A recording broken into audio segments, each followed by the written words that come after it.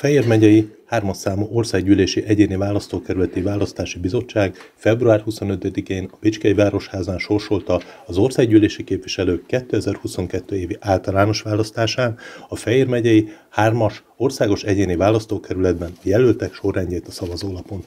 A sorsolás eredmény alapján egyes sorszámmal Tesszeri Zoltán, a Fidesz Magyar Polgári Szövetség Kereszténydemokrata Néppárt jelöltje kettes sorszámmal Balázs Péter, a Demokratikus Koalíció, Jobbik Magyarországért Mozgalom, Momentum Mozgalom, Magyar Szocialista Párt, LMP, Zöld Pártja, Párbeszéd Magyarország Párt képviselője indul. Hármas számmal Könyves Tamás, a Megoldás Mozgalom jelöltje. Négyes számmal Mészáros László János, a Magyar Kétfarkú Kutyapárt jelöltje.